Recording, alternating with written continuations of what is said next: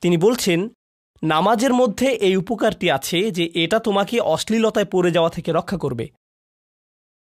কারণ অশ্লীলতা তোমার চারপাশে বিরাজমান, আর আমি, প্রিয় পুত্র, তোমাকে এটার সম্মুখীন হওয়া থেকে রক্ষা করতে পারব না।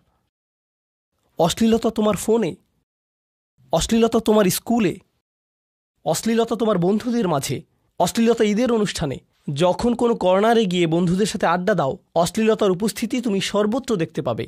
প্রতিবার যখনই তুমি অশ্লীলতার দিকে এগিয়ে যাবে, তোমার অন্তর ক্ষতিগ্রস্ত হয়ে পড়বে। আর আল্লাহ বলছেন, যদি তুমি এই নামাজগুলো আদায়ে যত্নবান হও, এগুলো তোমাকে অশ্লীলতার করাল গ্রাস থেকে রক্ষা করবে।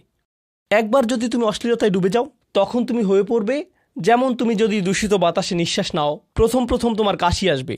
কিন্তু যদি এতে বেশিক্ষণ অবস্থান করো, একসময় এতে তুমি অভ্যস্ত হয়ে পড়বে। অশ্লীলতাও ঠিক এরকম। এতে আকণ্ঠ নিমজ্জিত থাকলে একসময় এটাকে আর বড় অপরাধ বলে মনে হবে না। নিজেকে এর থেকে রক্ষা করার কোনো গরজ অনুভব করবে না আর। কারণ তোমার প্রতিরোধ ব্যবস্থা দূষিত হয়ে গেছে। এরপর তুমি এমনকি আরও বিষাক্ত আচরণের জন্য প্রস্তুত হয়ে যাবে? এমনকি আরও জঘন্য বিষয় ওয়াল মুনকার এমনকি আরও ঘৃণ্য কাজও তোমার দ্বারা সম্পন্ন হয়ে যেতে পারে? অধপতনের অতল গহপরে হারিয়ে যাওয়া থেকে এই নামাজগুলো তোমাকে রক্ষা করবে।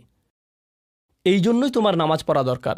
এই সমস্ত কারণেই তোমার নামাজ পড়া প্রয়োজন। আমি বলেছি এই জন্য না। এই সমগ্র ভ্রমণের শেষে সিদ্ধান্তটা সম্পূর্ণরূপে তোমার। কারণ আল্লাহ হয়তো আগামীকালই আমাকে নিয়ে যেতে পারেন।